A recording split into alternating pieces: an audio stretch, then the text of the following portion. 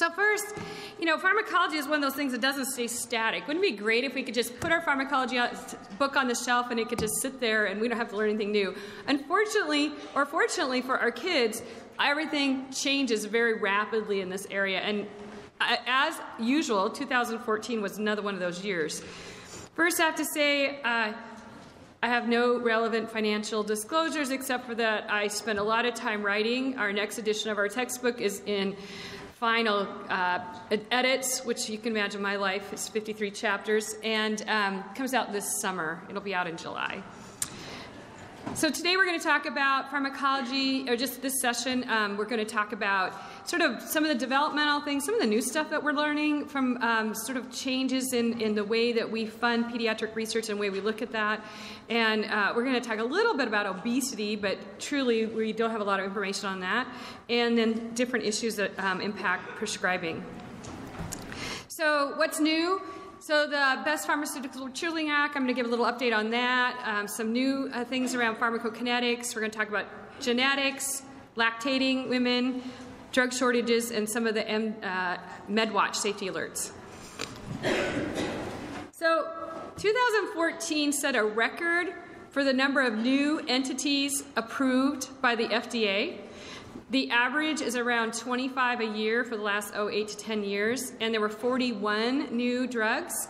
Um, and um, it, it's exciting. It's very exciting. We have all these new drugs coming on the market. When you're in the middle of writing a pharm book, you're constantly changing things. We're like, could they just go on vacation? Because we need to get this book out. But the exciting thing is that there are some new drugs. A new hepatitis C drug came out. There's some a, a number of new uh, cancer uh, drugs that have come onto the market in the past year. Um, we have a new uh, uh, throm, uh, thrombolytic, which seems like there's been a new one every year. The new one is Zontivity. Uh, there's a number of new drugs for rare diseases, um, one for mucopolysaccharidosis type 4A, and um, some others, uh, one for tropical leishmaniasis and Castleman's disease. So we have some new drugs that are pretty exciting, not very many of them for um, pediatrics at this point, but some of these will probably have um, pediatric implications as they do more studies. The most important thing is that 17 of them were the new drugs that were the first in their class. So these are talking about brand new, never any, you know, a lot of drugs come on the market. There's a Me Too's, okay, there's another proton pump inhibitor, there's another, you know, statin. But these are new drugs, and this is really exciting for um, long term care for all of our patients that we've got lots of drug research happening. There are, this is sort of the diagram that came out um, from the uh, FDA about all the new um, drugs, but just, just to know there's, there's a lot of them. There's a couple that are new antibacterials, and, um, but otherwise, a lot of them are more for uh, more rare diseases, which is um, pretty exciting. So to back up to pediatrics, just because one of the, one of the things that happens is is every drug that comes on the market now has to be studied for its use in children, or at least looked at.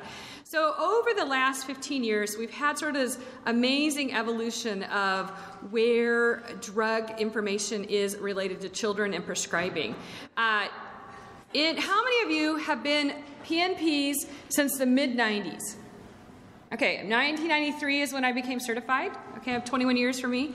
Um, when we got out of school and we were looking things up, it, uh, basically most of the drugs said uh, not have has not been studied for use in children, or safety and efficacy has not been determined for children under age 12. Remember that? So, it's, and so, and statistically, 75% of drugs said that, but we still were prescribing them. We were still out there going, well, you know, it works in adults, so we'll work, do it in kids. And so the, what happened in the mid 90s is there was a real move to say this is not okay. We really need to study drugs in children. So the in 1997 there was the pediatric um, exclusive, there was the, the FDA MA um, Act, and then the pediatric exclusivity provision. And what that um, really looked at is the first time where they said, okay, when drugs come on the market, we need to like study them in kids. Okay, we can't just um, do that. So there was a um, uh, a little pushback from the pharmaceutical industry, and that got overturned by the courts. And so a, a stronger uh, law went through Congress in, in 2012 called the Best Pharmaceuticals for Children Act. And what that act really said is that, um, you know, children uh, we need safe drugs for children, and we need to make sure that drugs are studied in children, and that the FDA has the ability to send a letter to the company that's manufacturing these medications, say you need to study these drugs in children. They gave a little bit of a, um, a carrot uh, that said if you study them in children, we'll extend your patent for six months. So if you've got a big name, big dollar drug like um, uh, Prilosec, which was one of the first ones, in six months, you can make a lot of money. Okay, and so so that sort of gave the manufacturers a little bit of uh, initiative to do these. And then in 2003, the Pediatric Research Equity Act um, passed, and what that was was a act that said any new drug, any new entity, any new formulation, any new indication had to be reviewed for use in children. So historically, what they did is they, they did adult studies, got it approved in adults. Then the drug reps came around and said, well, you know, that, up at the university, they're using these in kids, right? And then we sort of, it trickled down without any real studies in children. And now what they're saying is from the bottom up, it needs to be having research done in kids. And the only ones who can get away with not doing research in kids is that if it truly is a disease that doesn't happen in kids, like you don't have to study COPD drugs in kids, um, or um, if, it, um, if the animal studies indicated it would not be safe in children. So, so, so for about 12 years now, we've had this, and it's very exciting. Um, of course, like most laws, it sunsetted in 2007, and so we had to go through the whole congressional thing. Everybody was lobbying to get it passed. It made it through another five years. In 2012, it um, was passed, but it now is got a permanent. Um, it won't ever sunset. So this is now permanently on the books, and it's now um, uh, a. Uh, every every drug that comes on the market now has got pediatric studies. So what does that mean? Well, I mean, in this time, since 1996, 546 drugs have been relabeled with specific actual information about children. That's huge. This is, this is a win. This is exactly what the goal was when they started this that we would have information that we needed to be able to prescribe to children. Additionally, one of the provisions was that they could go to the companies that is that are um, manufacturing these drugs and say, "This drug is used in kids, so let's let's do some studies in children, or let's." Um, another thing that happened is they're collaborating with the Europeans because they have a lot of pediatric studies also, and looking at how their studies look in children and say, do they have sufficient evidence based um, information for us to say it's okay and kids are not, instead of us doing a whole nother randomized controlled trial in children if they've already got good solid information out of Europe. So, and so the European and the US um, drug uh, agencies are collaborating very closely and um, uh, so that we are able to get information uh, without having to do additional studies. So the additional things that's happened is that it used to be that if the drug trials didn't um, work, that manufacturers could actually have that information hidden from the label. So there were studies that were done clearly that showed a drug did not work. For example, some of the antivirals, um, amantadine and some other ones, um, uh, clearly did not work and were harmful to children, but that information was never on the label because they made a deal with the FDA and they didn't have to do that. And so, so what was on the label was only the positive things and who it was supposed to be prescribed for. But the person down in their clinic in some little rural area, they didn't know that there was significant adverse effects in children from amantadine because it never was public knowledge. It's certainly not going to be published by the manufacturer. So, but what happens now is all the trials have to be on there. So whether it works or not, if there's adverse effects in a certain population, it has to be on the trial. Uh, has, those trials have to be on the label. So now what you get is if you read a label, and now all the labels are dated, so you go on to there, you go, what I do is I just Google the drug because they usually have thedrugname.com, you know, or you can pull up RX List as another great one that's accurate labels. And it will tell you exactly what happened, why it's not recommending kids, or why it is. The other exciting thing that has come out of this is I was um, I've been a member of the Best Pharmaceuticals for Children Act Committee since think 2003, about 10 years, off and on. Sometimes, you know, when you're not funded at the federal level, you don't meet. So there were years that was no money, so we didn't meet, but pretty much um, for about 10 years or so. And um, one of the exciting things that happened is this network of people that were really interested in high quality studies in children around medications formed the, this group. It's called the Pediatric Trials Network. And the Pediatric Trials Network is um, uh, an amazing group of people. I mean, and what's really exciting is you kind of got these old pharm guys um, that are kind of getting ready for retirement, and they're sort of mentoring. Part of this is a mentoring. There's some NIH funding for PharmDs to study specifically children, and they're mentoring these young people in uh, bringing them up on um, doing pediatric trials. And so the expansion of what is uh, happening in pediatric drug research is significant around the Pediatric Trials Network, and they're collaborating across sites. So they're all over the place in the United States. Um, there's a couple, one in Europe. But basically, it's an alliance of clinical research sites, and basically, they cooperate on the design and conduct of the pediatric clinical trials. So, you know, if you have a, a child with a fairly rare disease, you may have one or two at each site. And so, what they can do is they can collaborate across multiple sites so they can get a large enough um, pool of data on these kids to get some good findings. And um, so, this is a very exciting uh, thing. And, and they're and just amazing. If you go onto their website, they get all these studies that are happening. This is where the obesity stuff is really coming out. So what have they done so far? And this, this, is a fairly new group. Remember, it to take like years for things to kind of come to the forefront. You know, they do the research study and then it get published and then you finally get down to the practice level, you know, 10 or 15 years later. Part of the goal is to get this stuff to the practice level very rapidly. And so um, one of the things that they're doing is working with the NIH and getting their publications done and just moving so that this knowledge is getting out there. What is happening, some of this hasn't been published yet, but, it, but it's on their website. They looked at lorazepam versus diazepam to look at status epilepticus. They're equally as effective. Um, they're studying lithium for bipolar disorder in children. Uh, baclofen is used for spasticity, but they're also studying it because we haven't, uh, there's not super large uh, clinical trials, and they want to just um, take a look at that, what it looks like long term. Um, a lot of neonatal research. Okay, one of the things you've got a big pool of kids because there's NICUs everywhere, right? And you and they're in the hospital. You can draw blood. That's the other thing with doing pediatric trials. You got to usually draw blood on them, so it makes them tough to do. So one of the things they looked at is dosing of acyclovir. Do you dose it by weight? Do you dose it by age from when they're born? Do you dose it by their gestational age?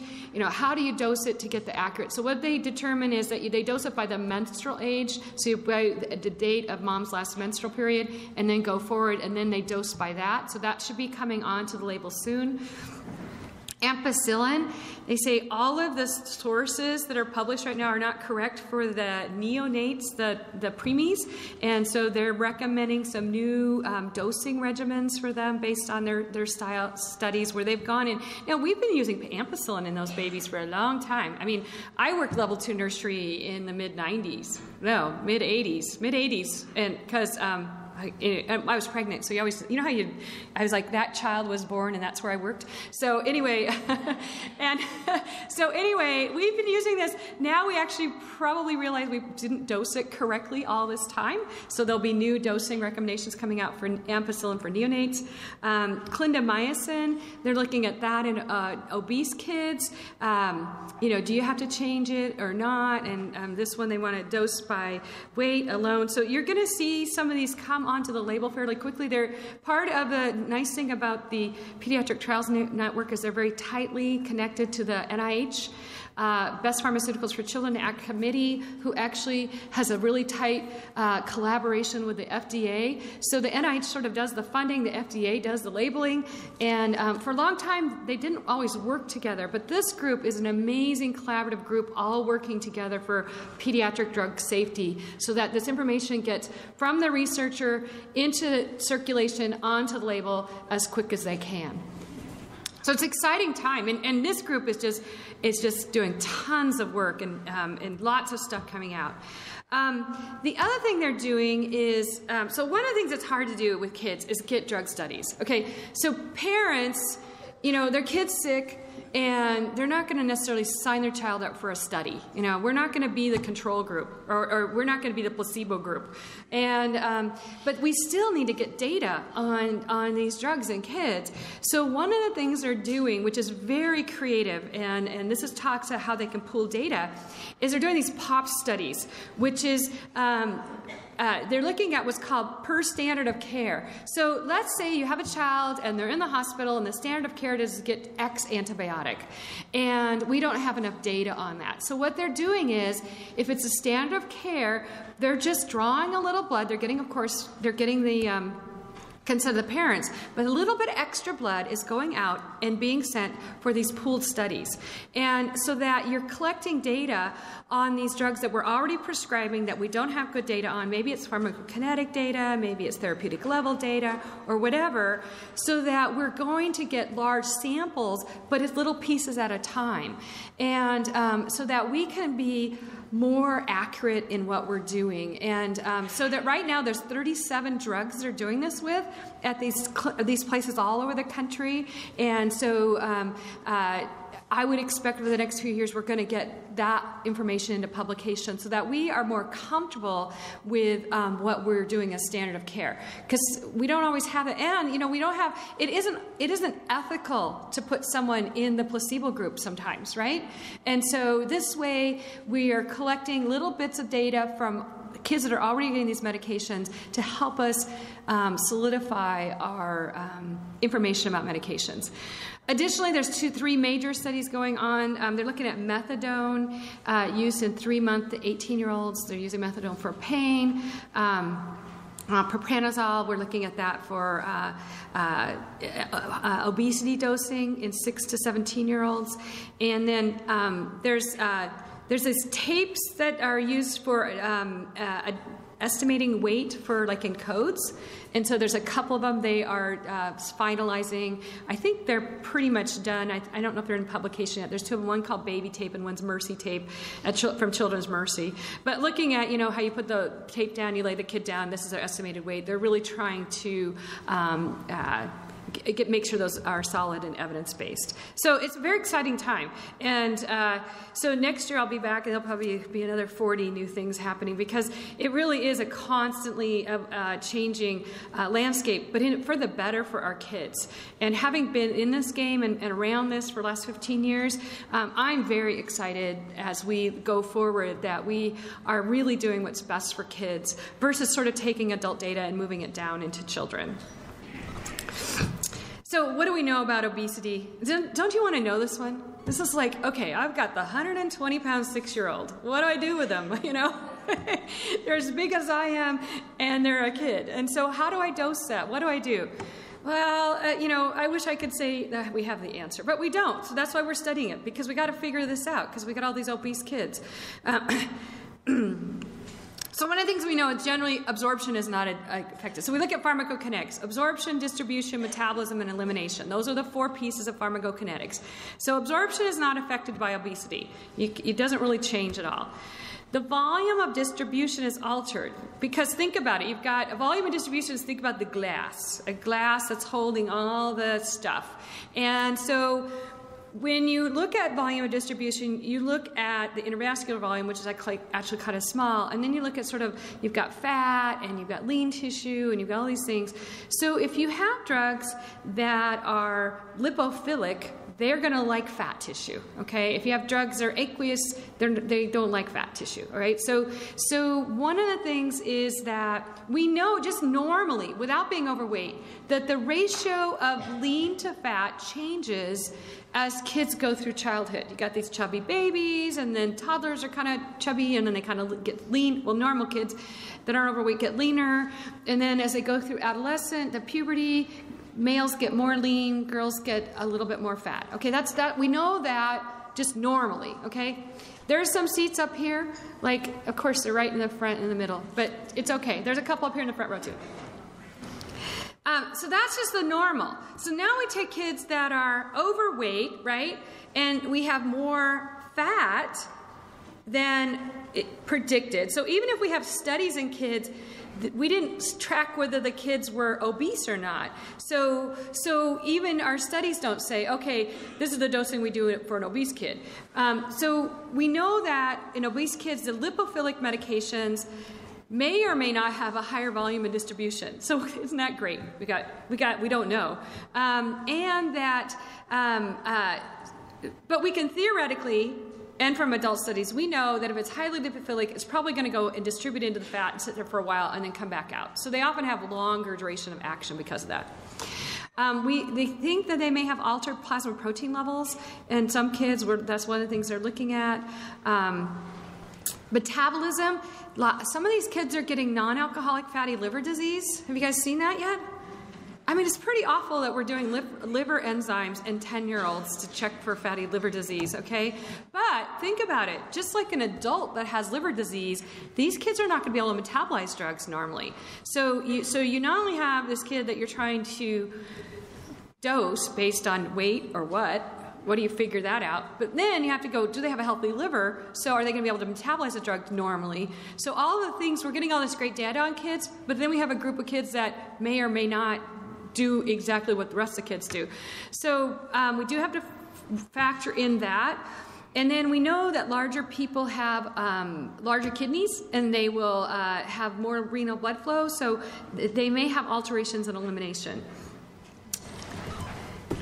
What do we know? So when you, the ones you can, it's hard to do studies on this in kids, right? So you can imagine the parents.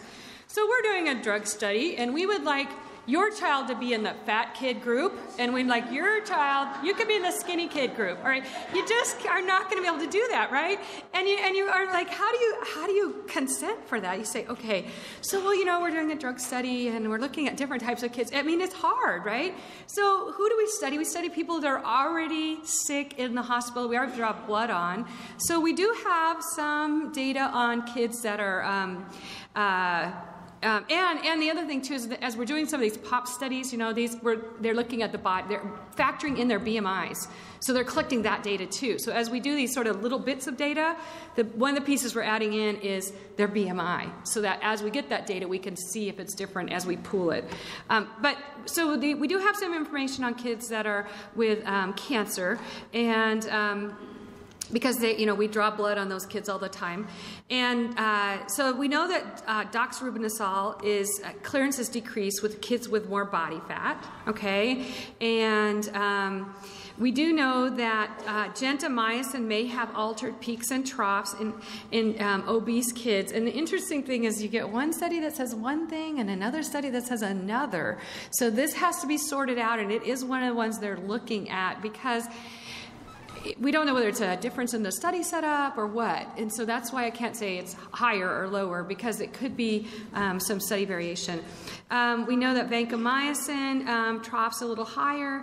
Um, we know that enoxaparin, um, kids require higher doses than adults. So enoxaparin is dosed per weight, and I'm, in a couple slides I'm going to talk about what they figured out in adult dosing around that with obese adults.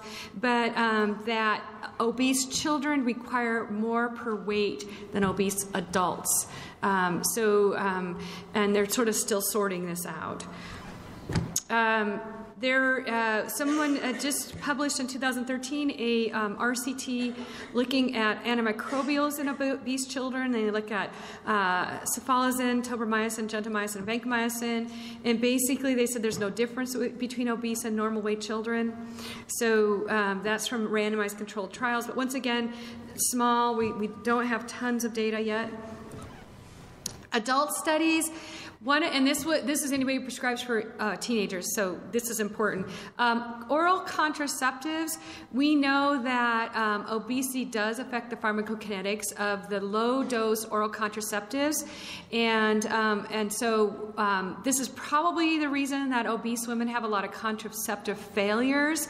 And what they are recommending is either increasing your oral contraceptive dose, so don't use the 20 micro for your obese girls, go up just a little bit. You don't have to go way up, but go up a little bit. Or do continuous dosing with these ones. Okay, they say the continuous dosing decreases your um, uh, contraceptive failure in the obese girls. But even then, I wouldn't use your very, you know, those really low dose oral contraceptives in your teenage girls that are obese, uh, just because we it, it is we know with the patch, you know, the patch is really not effective at once you get above 200 pounds, 198, but I say 200. But you know, it's it's really and, and it really has to do with volume of distribution. It's a lipophilic drug. It goes out into the fat tissue. Probably the reason continuous dosing works is it when things get distributed into fat, they don't stay there forever. They come back out eventually. So you basically it's going out into the fat and then it's coming back in. But you, and by doing continuous dosing, you're sort of eventually getting the therapeutic levels all settled, all in the same area. Enoxaparin. So um, in adults, the normal enoxaparin dosing is one milligram per kilogram, but they found with um, a, a, a, obese adults with DVTs that um, uh, they get they should do dose them at 0.71 milligrams per kilogram because they have they, it's effective. That's what works. And when you get to one milligrams per kilogram in those obese adults, that you have a lot more um, adverse effects. But with kids, you have to dose them a little higher. But of course, they don't have a number yet. Okay, they don't say, okay, we know that they need to be dosed, or now you do it, is it 0.8, is it 1, we're not sure, but we do know kids you have to, you can't really dose it at this low and get the anticoagulant effect you want. More studies are being done in this area. Once again, how many kids are on enoxaparin, right? So that's another one of those areas where they can start using some of that pooled data and try to figure this out, what's gonna work. Okay, uh, there was a big adult uh, review of the literature study done looking at antibacterial drugs and uh, um, adults. They looked at beta lactams. It was a, it was a review article. Vancomycin, macrolides, fluoroquinolones, aminoglycosides. Their conclusion was we need more studies. They seem to work just fine at the regular dosing. Because remember, adults, we sort of get to adult dosing, we just adult. You know, we don't dose them by weight, right? And so they think that they're, they're fine, but, you know, they, you know, they looked at everything. They, no, we, they haven't looked at good data in adults either. Because what adult is going to say, okay, you want to sign up for the fat people group or the skinny people group, okay? It just is hard to get data. And when you think about our normal prescribing, how many people that we give a amoxicillin to do we say, okay, now go to the lab and get your blood drawn. We just don't. We don't. We don't. They're not sick enough to need those studies. So to get studies in these uh, uh kind of tough, but they're working on it because we have a problem in the United States with obesity. We have to figure this out.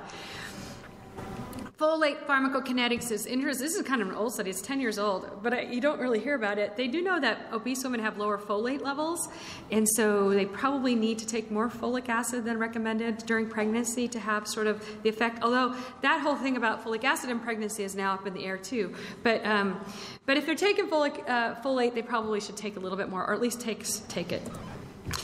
Okay, obesity is. So I don't have the answer in obesity. I wish I did, but I don't. Uh, now we're going to shift to pharmacogenetics, and uh, pharmacogenetics is another area that's kind of exciting if you are a um, person like me who's kind of interested in all this. Um, it's an area that is rapidly exploding. We got the human genome identified. We've sort of figured it out, which now they can go in and sort of look which genes are associated with things. We're doing a lot of it around um, diagnosing of diseases. Uh, and um, now pharmacogenetics is really looking at okay, does everybody process the medications the same based on their genetics. And so we, we of course, can do a lot of work in cancer because, once again, we've got kids that are getting lots of blood drawn, and we could just add a little bit of extra blood to be sent off for a test. So we know, and this has actually been around for about 10 years, we've started to figure out about 10 years ago that ALL, there's certain types of ALL, certain genotypes of patients with, um, in patients with ALL that are chemo resistant. And they can test them now ahead of time and say, you know, these kids don't get this medication because they're going to be resistant. Um, we know that there are uh, certain um, uh, polymorphisms uh, which is you know, genetic variations that lead to increased toxicity of chemotherapy in some patients. So they get more oral mouth sores, they get delayed platelet recovery. We know exactly what genotype that is. They can go in and study that. We also know that there's decreased clearance of um, uh, doxorubicin in some um, patients. This is an area where they're really working hard because you can do genetic studies and sort of once they figure this out, then they can um, do the pharmacology studies to link up to that. Kids with trisomy 21 are more sensitive to methotrexate, so they're going to have more. Uh, uh, adverse effects, and um, so we know that certain syndromes genetically, the syndrome, whatever whatever gene is causing the syndrome, is probably going to make them um, also have some drug uh, variability also. Uh, we know that there's some uh, racial and ethnic uh, differences. Let's see if I can make my arrow go around here. Oh and um, how people respond to therapy. Um, so we're looking specifically: is it is it So we know that kids with Spanish surnames, and so they look at the name. They don't. They didn't do gene studies on, on the pediatric oncology group. Looked at kids with ALL, and they looked at um, kids that had Spanish surnames and African American names had poorer outcomes. But is it because of genes, or is it because of are they disadvantaged to begin with, so they're not getting treatment as early? That's what they have to sort out. And so um, that's a piece that they're looking at right now. So one of the things that, that is exciting is, it, and, and you see this with breast cancer. Women with breast cancer, you know, have you seen this where they, they do their testing ahead of time to see are they receptor positive, are they going to respond to the chemotherapy or not, so that they can target their chemotherapy. They're doing this with colon cancer, and um, so we're looking at kids and genetics so that we can really target, so we get the, the treatment we want it's not resistant, and we're not we're getting as few adverse effects as possible. What's really exciting is ADHD, and I've got more information later on ADHD. There was a big study down at University of Queensland, which is actually where one of my sons just started medical school, by the way, in uh, Brisbane, and um, I actually. I, I only put that in there because I was reading the study. I'm like, oh, that's where Patrick's going to school. so, so they looked at um, a genetic link and they looked at the genes, okay? They just looked at genes. And they said, how likely is it that a mental health disorder is genetically linked, okay? And they looked at uh, ADHD, they looked at depression, schizophrenia, bipolar, etc., because they really wanted to figure this out. And ADHD is like at the top of the bar. 28% of the risk for ADHD is genetically linked, looking at the genes, okay? So, what does that tell you? You know, you've got a disease that comes down through families, and um, we are uh, now at a point where we are trying to prescribe, right? And, and so now we have to look is this a genetic reason they are or not responding to the medication so because we know it's a genetic possibly a genetic a reason that people are get there there's still some empty chairs up front it's okay.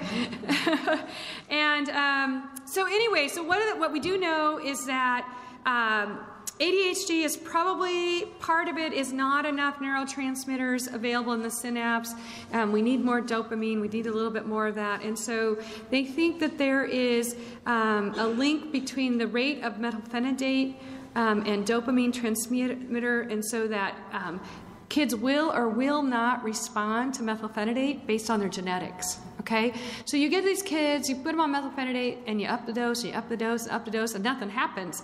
Well, it's probably or possibly, we don't know, genetics, and that's where the studies are going to go next. Is okay, is this a genetic reason that they're not? We, we you know, so you can do the studies and sort of say, okay, it looks like there's this relation. Now you got to do the controlled studies and figure it out. Okay, but that could be why genetically, they're not going to respond because they just don't have the ability to respond, okay? We know that there is a difference between the way people um, metabolize amoxicillin um, because of the uh, genetic differences in their CYP450 um, uh, enzymes. And so, so, some, so you know, so we got all this stuff we're thinking about with ADHD, right? You got, you know, you got the family, you got the school, you got the medications, and then you go, oh, you know, always keep in the back of your mind, it could be the reason they're not responding is they're not going to respond because of genetics and maybe just switch to a different drug class. You know, go from methylphenidate, try one of the um, amphetamines or something and see if that's what it is. Because you because that's the one variable that you can control more than sort of the family. And if you think about genetics, if you've got parents that have ADHD, right, because it's genetic, and they're trying to manage a kid with ADHD, that's a very a, a, confounding variable that is difficult to control. And I don't have to tell you if you're managing kids with HD, ADHD, you probably have already seen this in your practice. So, but anyway, we're getting the we're getting the information now to sort of prove our gut, right? We've always kind of known this, I think, and now it's coming out. So, a new exciting area that's happening, and we've talked about uh, pharmacogenetics and asthma, I think, since I've started doing these talks, but we're getting better at it, okay? So, one of the things that's happening is we are, it's very clear that there's genetic differences in how people respond to asthma medicines. Who does it? We don't know. That's what we have to sort out. So, we know that there's polymorphisms, meaning there's differences between people in their beta 2 receptors and um, how well they respond to the beta agonists. And so you, if you have a kid and they, everything is correct, they're using it correctly, okay, you've watched them use it, everything's good, and they're not responding, it's a possibility that this is a genetic thing that they're not going to respond to albuterol, okay? Which is tricky because there are not many other things to use, right? So, um, but just remember that they they do know this. They've got this has been around for about eight to ten years. They're just trying to sort it out. It's not like we can go say, okay, let's draw your blood. We got to figure out if you are going to respond to albuterol. We don't have that piece of the test yet. And we have some genetic testing, quite a bit, and that's growing every year. But we don't have something for this. We also know that there is quite a bit of difference um, between uh, how people respond to the inhaled corticosteroids. And they've narrowed it down not only to the gene, but to the allele on the enzyme of the 3A4, um, CYP3A4. So, what they found is that kids that had the CYP3A4 22 allele responded better to the inhaled corticosteroids than kids who didn't. Okay, and um, there's a few. Uh, let me see. I think it was seven. Oh, seven percent of the kids. Um, uh, didn't respond, or uh, the, the, ones that had it, seven, uh, let me see, 7% of the control group, when they looked at it, um, responded. So, one of the things that we have to figure out is are we going to have to test all the kids that we're putting on inhaled corticosteroids for this? Or are we going to have kids that don't respond and we go, okay, is it technique? Is it, are they not using it? Or is it, are they using it and doing everything right and they're going to be one of the kids that are not going to respond to inhaled corticosteroids? That's where the future is. And having been in this business where we, like 10 years ago, we're just going, well, there's probably some, they're narrowing it down and narrowing it down. And I'm doing a, a talk on pharmacogenetics on Thursday, and they, the FDA now has a whole slew of uh, genetic tests that we can do, just not ones for these yet, okay? But they're coming. So there is a time where we're going to be able to say, okay, we're going to prescribe this medication. We should do this test to see before we do this. So this is kind of exciting. A new article just came out in 2014 looking at pharmacogenetics and acetaminophen. And, and if you uh, understand pharmacogenetics, kind of it makes sense because acetaminophen actually needs a lot of steps to break down. So AP, AP is in the middle up there, right? And so we've got all these things that have to happen in order for acetaminophen to totally be metabolized. And so, um, so the three big CYP enzymes are 1A2, 3A4, and 2C, 2E. Um, uh, which one is it? 2E something. Uh, anyway, so they they think it's not that those because we know that other drugs we have genetic polymorphisms, especially in uh, 3A4 and 1A2, where where you have genetic differences is how they respond. So it's not that with acetaminophen. It's probably this UGT gene that is causing some differences. And so what we see in adults is that there's differences in hepatotoxicity. So, you know, this big push now is we to use less acetaminophen. Um, there probably is a genetic risk factor for people, even you know at sort of the normal doses. Or one person could take a high dose and be fine, and the person who genetically is not able to break it down as well, is the one that's going to be hepatotoxic. And so this is an area, this is a fairly new work. They're really looking hard at this to see if they can figure out, um, you know, who shouldn't take acetaminophen. So we're talking about our bread and butter pediatrics, right? And these are in adults, but but you know, five, ten years from now, we're going to have some studies in kids, and we're going to be able to say certain kids probably shouldn't be taking uh, acetaminophen, which is kind of scary when you think about how much we recommend it, right? So anyway, that's just that's new, and um, they're looking at this, and uh, just stay tuned. Okay, but we do know this is a this is children. This was a bad outcome in children. Uh, in 2012, the FDA the, uh, had some reports. It actually started about 2011, where some kids that had taken acetaminophen with codeine were having respiratory distress, um, significant respiratory depression, um, and they were reported into the MedWatch, and they started collecting some data. And what there were three pediatric deaths. Um, there was um, some cases of uh, uh, uh, life-threatening respiratory depression, and so they started looking at this and. What they figured out is so if you remember your pharmacology, and I, you don't have to tell me when you took it or that you still have dust on the pharmacology book, because I know it's probably up on your shelf still. But um, so codeine is metabolized into morphine. Okay? And so you have two pain medicines when you give codeine. And so what you get is if kids or anybody is a ultra metabolizer, they break down the codeine into morphine faster than predicted, so you get higher levels of morphine in the blood than you would expect. So we know that they so they figured out it's the kids that are ultra metabolizers that were doing this, and um, so there is a. Uh, um, we know, so the problem is they don't come with a label that says I'm an ultra metabolizer, okay? They don't say that. So we know about 66 percent of Caucasians are ultra metabolizers. Um, if you look at Ethiopians, you're getting up into the, like 23%. So uh, kids that are from Ethiopia. But kids that are um, black kids from the United States are down similar to Caucasian rates of like 6%. So and we don't really have a good test. I mean, you know, so you, you see you're in the exam room and you want to write for some acetaminophen with codeine or codeine cough syrup, right? And you're going to the parents. Well, we have to send you to the lab. We're going to have you draw your blood to see if you're going to be the one that does the that's going to respond more strongly to this, and then we'll decide whether we we, we just can't do that, and we're not going to do that. It's probably better just to not prescribe it. Um, but but so but that is really the thinking of think. Is this going to be the one kid in my you know panel that's going to be the one that's going to be an ultra metabolizer? And so what you'll hear from parents or you could ask parents because it is genetically linked do you are you more sensitive to pain medicine? Do you when you take codeine do you get more sleepy or do you feel more sedated? Because that will tell you that probably there's a likelihood the kids may be like that okay um, it has, a, they've given codeine a black box warning now uh, for um, pediatric prescribing another drug relabeled that we've used my whole career, okay? Um, and this was just given a black box warning like a year or so ago.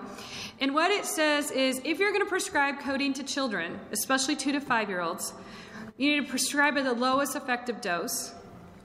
You don't do um, around the clock dosing. So don't say give it every four hours. You say give it PRN, okay?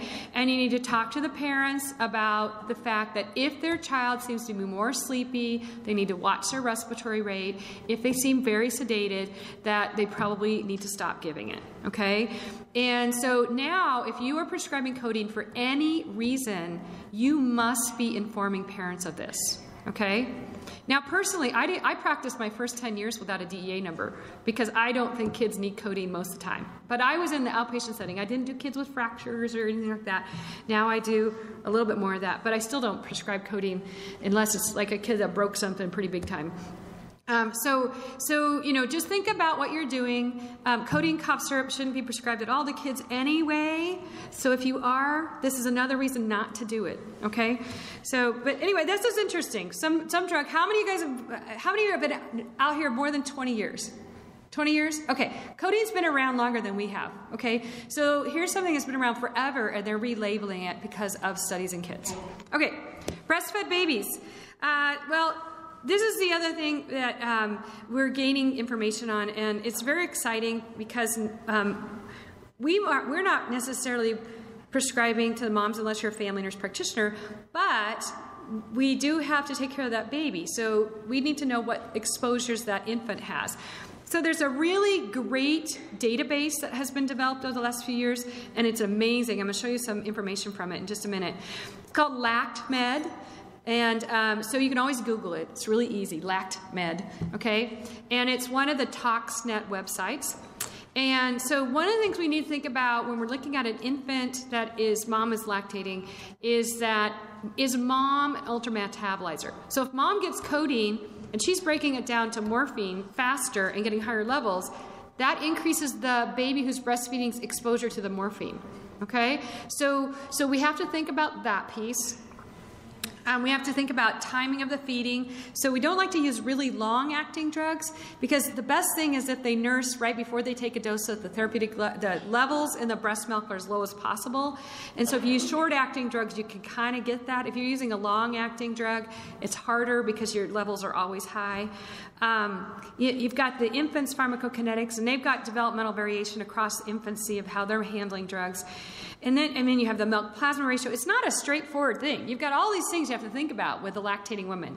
Fortunately, they've done some really good um, research and they've collected the data. So this is what the LACTMed website looks like. They've just updated it if you haven't been on there recently. It was just updated a few months ago. Um, it's really great. You just type in the medicine and right there it says search or leader SSRIs and you just hit search. So you can just type in the medicine and then it tells you exactly. I did fluoxetine because a lot of women are on Prozac, okay, and they're breastfeeding.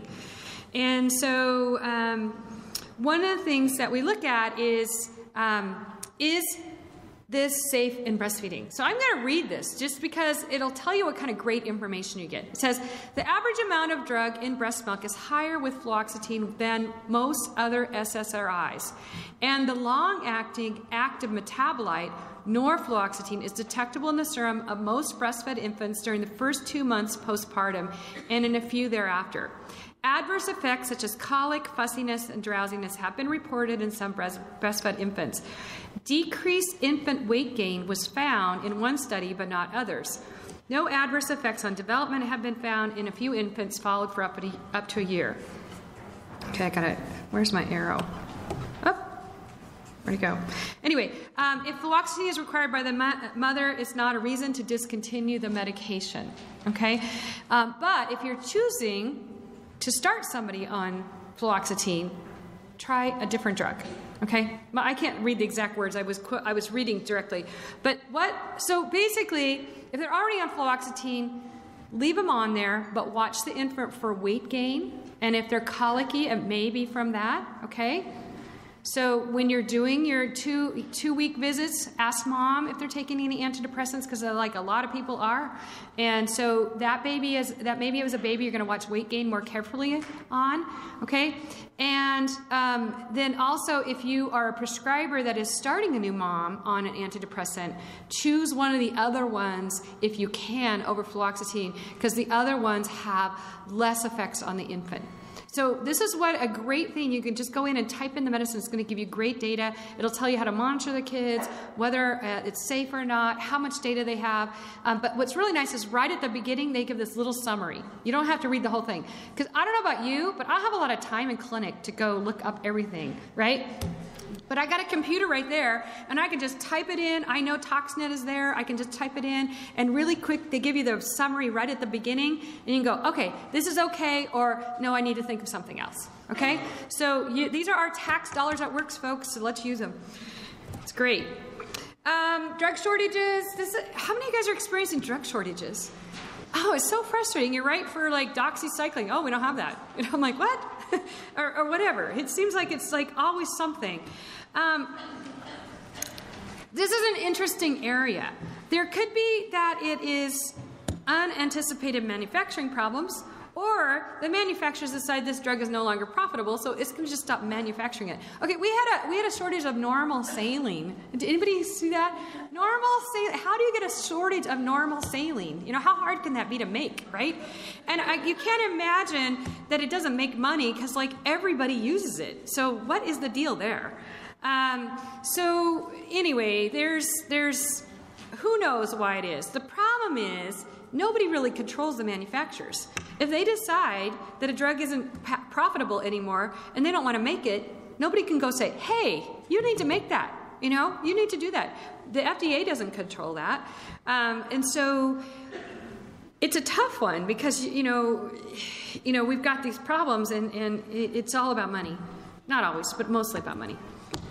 Um, the FDA does create, have a uh, a part of their website where if you're you go someone that says there's a shortage you can actually go in there and they'll say do they think it's a short-term shortage? Is it like a manufacturing problem they're going to turn it around pretty quickly? Or is this going to be this is a long-term shortage? Because it's one thing when you're trying to make a decision and it's a 10-day thing right? You're to you need it for 10 days. Yeah a, you can just find something else. But if you're looking at long-term treatment and you're trying to start somebody on something and there's a shortage, it'd be nice to know is this shortage going to be a short one in a month or two it's going to be different or is this something I shouldn't even go there, okay? So, um, and, and I wish we could do something about this and I think it's going to get worse before it gets better. Has anybody done a MedWatch report ever? Oh, good. I see a couple hands. Great. So, it's actually our job to submit MedWatch reports. That's how they get, this is where the codeine data came from. Somebody sent a couple reports in and they said, oh, what's this? And then they started looking for more of it. So um, you can, uh, uh, it's, it's voluntary adverse event reporting. It can be done by parents, patients, or providers.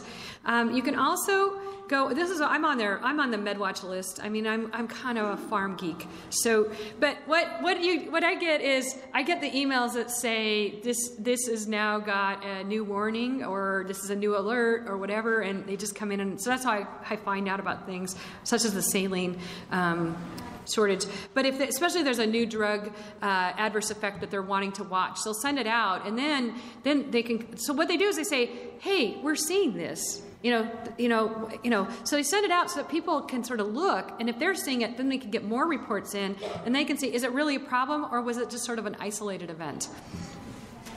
You can also report. Uh, there's an online reporting for, uh, form, um, and you or you can call a 1 800 number if you don't want to fill out the form online. And um, you also should be reporting dietary supplements and tobacco use. So I don't know about you, but we've been having some kids um, locally that are um, overdosing on the e-cigarette stuff. And um, so those all need to be called in because we need to get we need to get report at the national reports at the national level so they can do something about regulating those. And if all of us who see this in our practice or see something happening like that, if we all report this, they're going to start getting some. Uh, ability to push back against these unregulated drugs. Dietary supplements are the same way. This is um, a. Uh, to, in August of 2014, the DEA reclassified combination acetaminophen products, um, and um, they are. Um, what they recommend is that we continue prescribing and dispensing um, any acetaminophen combination product that is more than a 325 milligram tablet.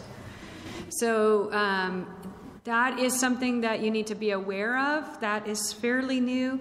And so if you're dealing with teenagers, you really want to stay at 325 milligram tablets on any combination product. Did you know this? Okay, it's fairly new. Okay.